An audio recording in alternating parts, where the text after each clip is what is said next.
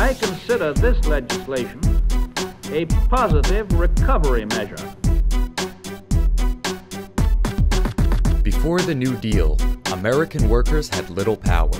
Employers set wages as low as they wished. Pensions and other benefits were rare. Workplace safety was poor and child labor widespread.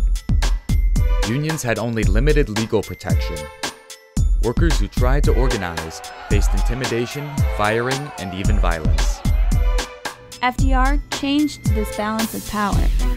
The 1933 National Industrial Recovery Act had guaranteed labor's right to organize and bargain collectively. In 1935, FDR signed the Wagner Act, the most important labor law in American history. It affirmed the right of workers to organize unions, required employers to bargain with union representatives, and enhanced the power of the National Labor Relations Board to mediate disputes. In 1938, a second landmark labor law was enacted. Its goal, in FDR's words, was, quote, to end starvation wages and intolerable hours.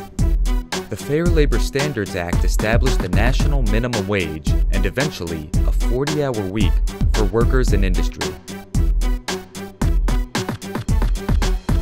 It also fulfilled a decades long dream of reformers by prohibiting employment of children under the age of 16 in most occupations.